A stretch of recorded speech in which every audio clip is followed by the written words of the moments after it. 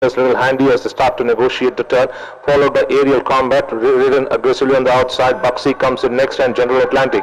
Inside the last two for long now. Ambitious star by about half in front of cruising up on the outside to tackle the leader and bursting into the lead is Maximum Glamour, drawing over by about two, two and a half to three in front of finishing fast on the outside after ridden vigorously. City of Bliss along with uh, Top Diamond. Then is Ambitious Star followed by Buxy hurrying up along with Atlantic Star, but it will be too late to catch Maximum Glamour. Scoring emphatically is Maximum Glamour from General Atlantic, followed by City of Bliss. They followed then by Buxy, Top Diamond. Then it was Ambitious Star, followed by Aerial Combat. Nara Vision finishes last.